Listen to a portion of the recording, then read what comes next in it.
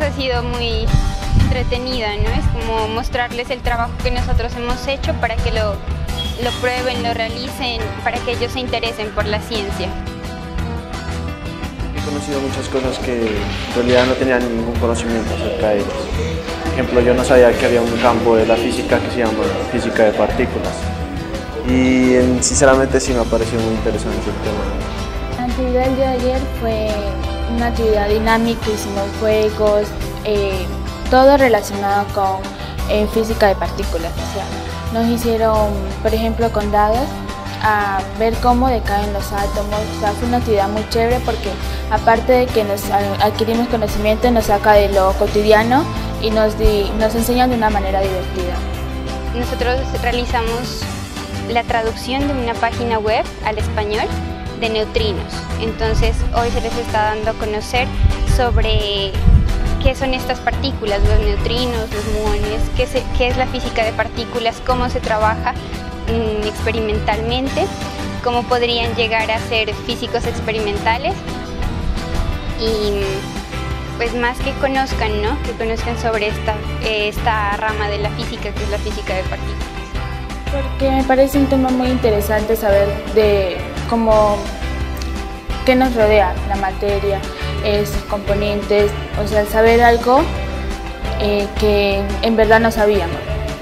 El decaimiento de partículas, pero con bolitas de chocolate. Eh, hacíamos eh, como al azar, se escogían las bolitas que caían con la letra, las de chocolate.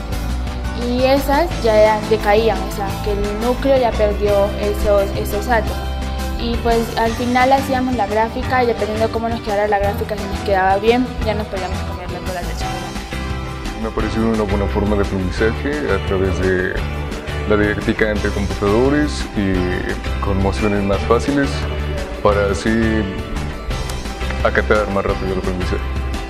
La es llegar a investigar un poco más sobre el tema y incitarme hacia el conocimiento de las partículas y los átomos y todos los que nos han mostrado. Yo no sabía sinceramente, la física yo lo miraba como una profesión de profesor, pero ética veo que tiene bastantes campos, pues, como la tecnología, la ciencia, la medicina, todo. Pues prueben nuevas cosas, eso siempre pues, es mejor para una persona, aprender nuevos conocimientos, porque el conocimiento está ahí y uno no quiere tomar invito a que conozcan un poco más sobre la ciencia, sobre la física de partículas, que es una herramienta que nos sirve mucho en este tiempo para avances tecnológicos sobre todo, eh, para que se interesen en estudiar esto, que la física es un área muy grande de conocimiento, de aplicación sobre todo en este tiempo. Invito a todos los jóvenes a que vengan y conozcan las diferentes cuestiones físicas y científicas que hay para, para aprender y para demostrar tu potencial. Los invito a que participen porque es una actividad muy importante ya que nos saca de lo cotidiano y nos enseña y además adquirir conocimiento es una de las mejores formas para salir adelante.